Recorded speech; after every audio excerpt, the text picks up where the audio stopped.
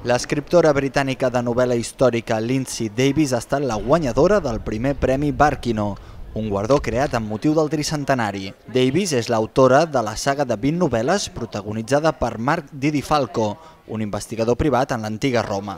I precisament, en un d'aquests llibres, Falco visita la ciutat romana de Barkino, on després naixeria la seva filla.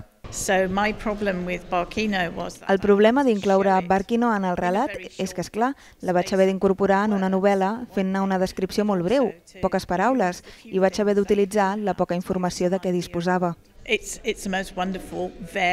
La veritat és que Barcelona és una ciutat d'allò més variada, colorista, té de tot. Per començar, per una dona anglesa com jo, hi brilla el sol, que quan he sortit d'Anglaterra aquest matí no hi brillava pas. És una ciutat amb cultura, on hi ha milers d'històries que es poden narrar. El premi s'emmarca dins el cicle de taules rodones Barcelona novel·la històrica, on autors, historiadors i periodistes debaten sobre aquest gènere literari. Qualsevol gènere literari mereixeria que en parléssim, que en discutíssim i que ajudéssim a que es difongués. Però en aquest cas el tema de la novel·la històrica, potser per la pressi que hi tenim tots com a barcelonins, eh, fa que sigui especialment gustós de, de fer aquesta, aquest cicle. Les taules rodones se celebren al Centre Cultural del Born fins al proper dissabte 16 de novembre.